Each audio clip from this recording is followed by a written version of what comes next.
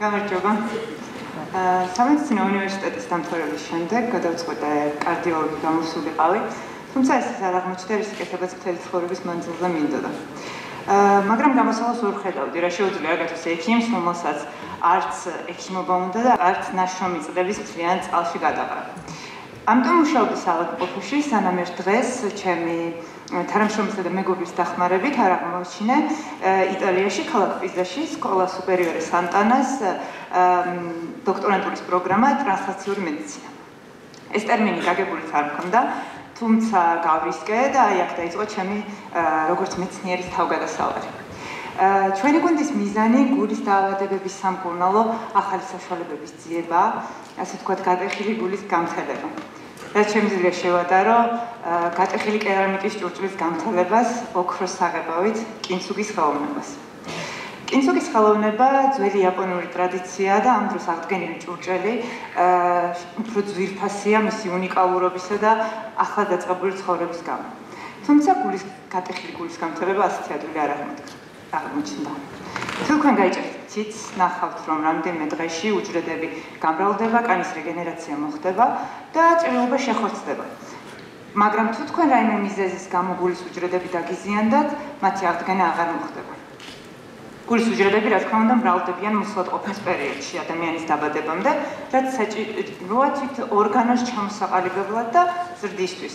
თუმცა ადამიანის დაბადების შემდეგ უეცრად ხდება უჯრედების გამრავლების შეწყვეტა. 2009 წელს სტოკჰოლმში ჩატარდა კვლევა რომელიც იკვლევდა ადამიანებს, რომლებიც დაიბადნენ 70-იანი წლების ევროპაში. ამ დროს ევროპაში ხდებოდა ატომური ბომბის საფეთქებების ტესტირებები და ატმოსფეროში დიდი რაოდენობით გამოიყოფოდა რადიოაქტიული ნახშირბადი. რადიოაქტიული ნახშირბადი წარმოქმნის ნახშირორჟანგს, რომელსაც სცენარები მოიხმარენ ფოტოსინთეზის დროს.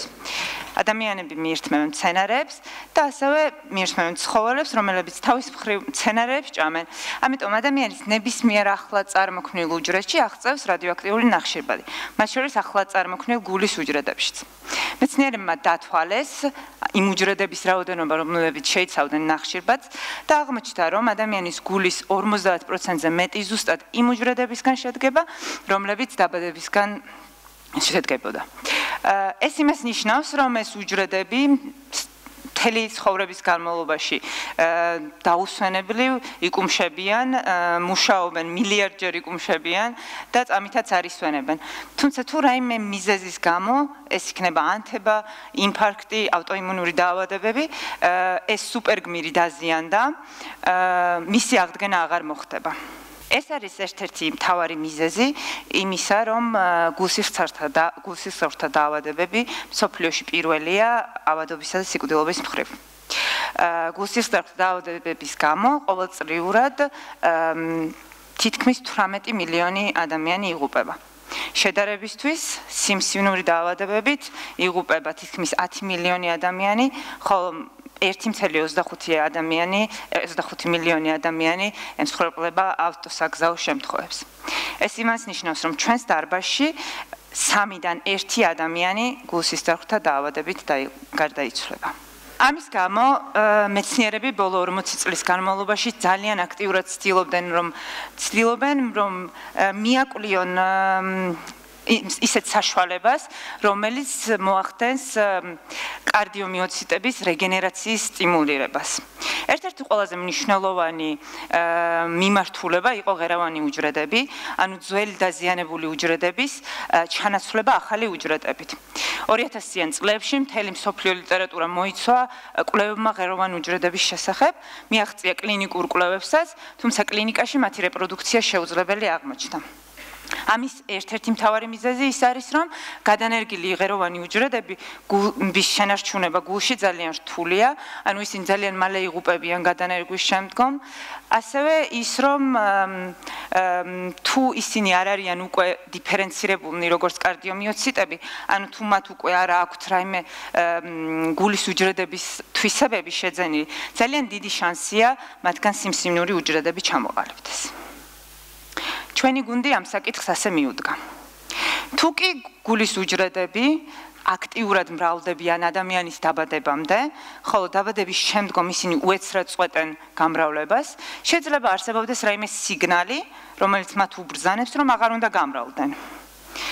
შესაძლებელია თუ არა ამ სიგნალის შეცვლა და ოქროს საღებავის გამოყენების მაგივრად გენეტიკური ჩარევით კარდიომიოციტების გამრავლების სტიმულაცია.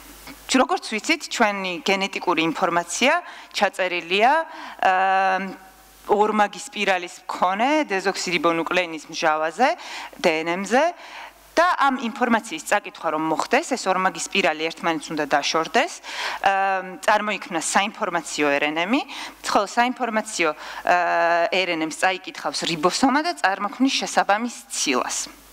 ამ დროს ჩვენს ორგანიზმში არსებული მიკროRNA-მი შეიძლება მიკროRNA-მა შეიძლება შეცვალოს ბრძანება და შეცვალოს წარმოქმნილი ცილა. აი მაგალითად თქვენ გაქვთ ცილის საშენი მასალა, ამინომჟავები, რომლებიც შეიძლება შევადაროთ ლეგოს სათამაშოს. აა სათამაშოს აგურებს. თქვენ გაქვთ ასევე საინფორმაციო RNM-ი, რომელიც არის თქვენი ინსტრუქცია, რომლის მიხედვითაც უნდა აწყოთ, რომლის მიხედვითაც უნდა აწყოთ ლეგოს სათამაშო. ხო, თქვენ რიბოსომა ხართ ამ შემთხვევაში მე. ინსტრუქციის შესაბამისად აწყობთ ცილას, როგორც ხედავთ, თითოეულ ფერს თითოეული აგური შეესაბამება. ამ დროს შედება პატარა ზომის მიკროRNA-მი, რომელიც როგორც წებავი ლენტი გადაეკრება ერთ-ერთ სიტყვას ინსტრუქციაში და თქვენ არ გაძლევთ ამ სიტყვის ამოკითხვის საშუალებას. ანუ ამ დროს თქვენსგან თქვენს მიერ შექმნილი პროტეინი ცილა იქნება განსხვავებული იმისგან, თუ რასაც შექმნით იმ შემთხვევაში, რომ მიხოლოდით პირველად ინსტრუქციას. სწორედ ასე მიკროერნემ შეუძლია შეცვალოს ის ბრძანება, რომ კარდიომიოციტები არ უნდა გამრავლდნენ. მთავარია გვეყოფა ის მიკროერნემი, რომელიც რომელიც ამ ფუნქციას შეესრულებდა. ვიპოვეთ კიდეც. თავდაპირველად ლაბორატორიულ პირობებში მოხდა მთელი ადამიანის მთელი მიკროერნემის ბიბლიოთეკის ტესტირება კარდიომიოციტების კულტურებზე, გულის უჯრედების კულტურებზე და აღმოჩნდა რომ 40 მათგანმა გამოიწვია მათი პროლიფერაცია შემდეგ ამ 40 მიკროერნემმა გაიარა ტრანსლაციური მედიცინის სხვა სხვა ეტაპები, მოხდა მათი ტესტირება თაგვებსა და ვირთაგვებში და საბოლოოდ შეერჩა ერთ-ერთი მათგანი, მიკროერნემი 199-ია, რომელიც ყველაზე ეფექტიანი იყო და მათი ტესტირება მოხდა უკვე დიდი ზომის ცხოველებში, ანუ ამ შემთხვევაში გოჭებში. და აქაც საოცარი შედეგი მოგვცა. ამ შემთხვევაში მოხდა გულის ფუნქციის სრული აღდგენა და გულის ინფარქტის ნაწიბური თავდაპირველ ზომასთან შედარებით განახევდა. ეს დიდი მიღწევაა, დიდი წინსვლა მეცნიერებაში, იმიტომ რომ სრულიად ცვლის იმ შეხედულებას, რომ გულის უჯრედები დაბადების შემდგომ აღარ მრავლდებიან. ამიტომ ჩვენი კვლევა ერთ-ერთ ყველაზე მნიშვნელოვან მეცნიერულ ჟურნალში Nature-შიც გამოქვეყნდა. თუმცა აქ აუცილებლად უნდა აღინიშნოს ისიც, რომ ამ კურნალობას თანახდა გვერდითი ეფექტები, ამ შემთხვევაში პარკოჭოვანი არითმიები, რის გამოც ჩვენ დაგვჭირდება წლები იმისთვის, რომ შევიმუშაოთ ისეთი მედიკამენტი, რომელიც გარდა იმისა, რომ ადვილი მისაღები იქნება ადამიანისთვის გამოიწვევს გულის კუნთის აღდგენას გვერდითი ეფექტების გარეშე. ჩვენი კვლევის საბოლოო მიზანიც ხომ ადამიან კლინიკურ მედიცინაში გამოყენება და პაციენტისთვის დახმარება. სოფლიოში, მაგრამ უფრო ხშირად საქართველოში ექიმები ძალიან კრიტიკულად უყურებენ მეცნიერებას. ხანდახან მეცნიერება მიჩნეულია როგორც არ შემდგარი ექიმების თავშესაფარი და არა არჩევანი. თუმცა სოფლიოში უფრო და უფრო მეტი ექიმი თავს მხოლოდ მეცნიერებას უძღვნის, რაც იგივე მიზანს ადამიანის ჯანმრთელობაზე ზრუნვას ემსახურება. მე მაგალითად ახლო მხედველი ვარ და სრულყოფილი ცხოვრების საშუალებას მაძლევს კონტაქტური ლინზები. რის გამოც ჩემი მკურნალი ოფთალმოლოგის გარდა უხდი მადლობას მის შემქმნელებს, ორჩეხ ქიმიკოს, ოტო ვიხტრელესა და დრაუსლავ ლიმს. მადლობა.